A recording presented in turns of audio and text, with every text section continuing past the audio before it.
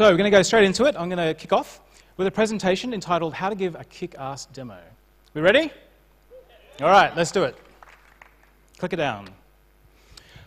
Okay, so at the, the, kind of work that we do, we always have a demo. Whenever there's a presentation, in a big forum like this, a small forum like a boardroom, there's always a demo involved in our presentations. Now, most of them go something a little bit like this. I'm going to give you a Fusion Tables demo. Okay, so the first thing you do is you go to Google Fusion Tables, you say New Table, the very first thing. Then you say Import Table. Now, I could import from a CSV file, from a tab file, from a text file, from an Excel file. I could even import from another Google spreadsheet. If I wanted to, I could create an empty table. Now, you probably can't read this, but this is 2 million Wikipedia points, which I've geocoded. You probably can't read it, but what I'm doing there is I'm running a SQL query. I can run any kind of SQL query I want. Any SQL query, I can just run it right there in the browser. Now, you probably can't read, but it says latitude, longitude. So here I've made a map out of those 2 million points. Look at that. And I can click on one of the points, and I can see a pop-up. Now, I can change that pop-up to be anything you want. I could put an iframe, I could put a video, I could put bold text, anything you want. So there we go. Any questions? That's the kind of demos that we typically do. Now, the problem is I've explained to you how you use it, but I haven't explained why you might want to use Google Fusion Tables. What's different about Fusion Tables compared to what you're doing at the moment? It's because we're very technical and we like to understand how things work. It'd be like if we had an amazing plane that could fly twice as many people for half as much fuel, and we sat you down in the cockpit and said, this button does this, and this button does that. That's pretty much what we're doing when we do a, an overly technical demo, like that example I just gave there. Now, geeks, we love the latest and greatest. We always upgrade the latest version. We're normally running a sandbox on our laptop with three different versions of the latest app. We'll often compile the app during the middle of a demo because we love the latest and greatest features. The problem is, most people fear change. You show them something new, they're just thinking, oh, God, I've got to change what I do. I've got to learn something new. If I'm a manager, I've got to spend time and money training my staff. So I don't want change. I want things to be the way they are.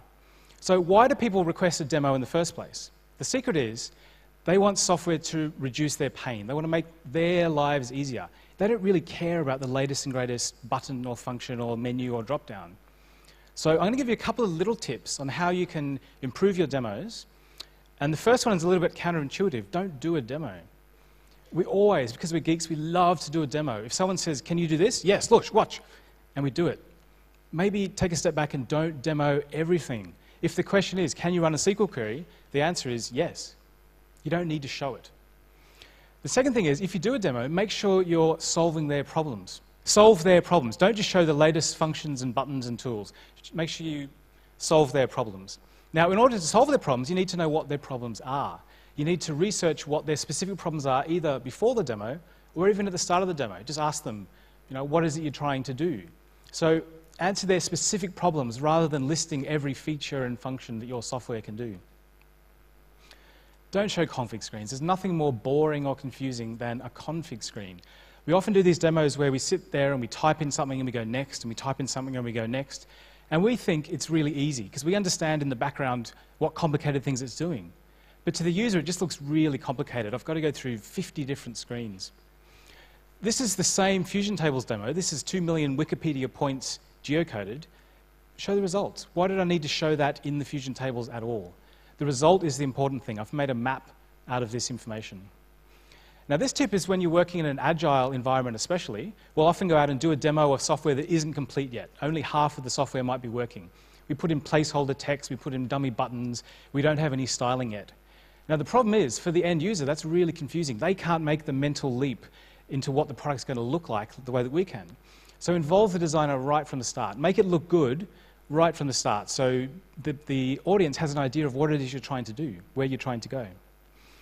Now, if you want to get some inspiration, you really can't go past Steve Jobs. He was one of the master technical presenters. And he very, very rarely came out and listed features or functions.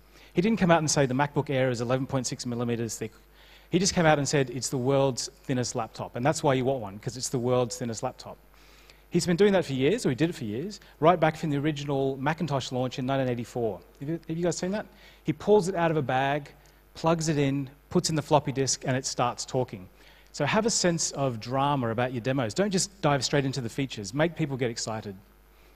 Now, because we're technical, we like to think we're above sales, but really, a demo is a sales pitch. I hate to, to break it to you, but you have to sell your product, get people excited about it, even if it's a free product. You want to get them excited about using your product.